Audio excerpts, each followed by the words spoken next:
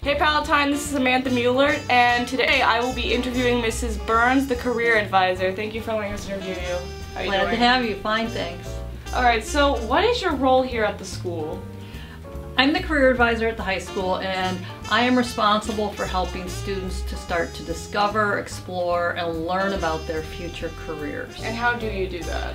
There are several ways I do that. I can arrange career treks for groups of students to go to actual workplaces, to see the work environment, ask questions, and meet with the professionals who are actually doing the career right now. I also help students come down to my, uh, have students come down to my office and I help them research careers, I help them with their resumes as well as practice their interviewing. Um, in addition, I coordinate in summer internships for students and help them prepare for those internships. District right. 211 is in their second year of the internship program. Can you describe a career talk? A career trek is, is a field trip uh, during the school day and it is for, we go to a specific workplace and I take a group of interested students. Um, so we actually go to the workplace and we get go on about 30 to 35 career treks each year and I try to schedule as many different and varied treks as possible to cover as many career interests. For instance, we go to architecture firms, engineering, we go to restaurants, theaters, cosmetology schools, automotive, hospitals. So a wide range. So hopefully I cover areas that um, students will be interested in. They can sign up in student services. It's a field trip form that they need to get completed and turn back into student services. It is an excused absence for them.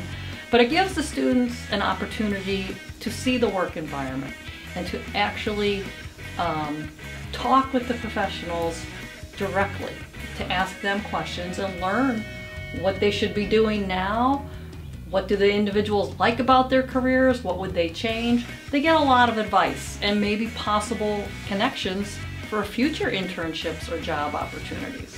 All right. Um, how specifically do you help students explore their career? Like, do you do it like often, or is it like, how often do you do it?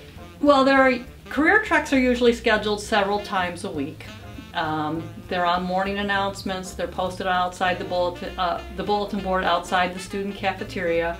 They're online at the Palatine website under Student Services. Um, also online under the uh, on the website under student services students can learn about independent opportunities that they can participate in. An independent opportunity is an event that does not happen during the school day.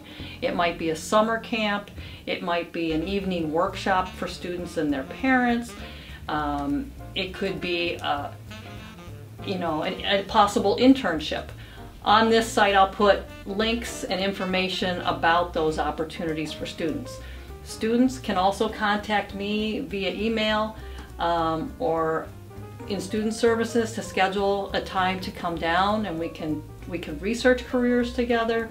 Um, and as I said before work on resume development practice interviewing skills do mock interviews. All right. Uh, thank you for thank you for letting us interview you. Oh you're very welcome. See you later Palatine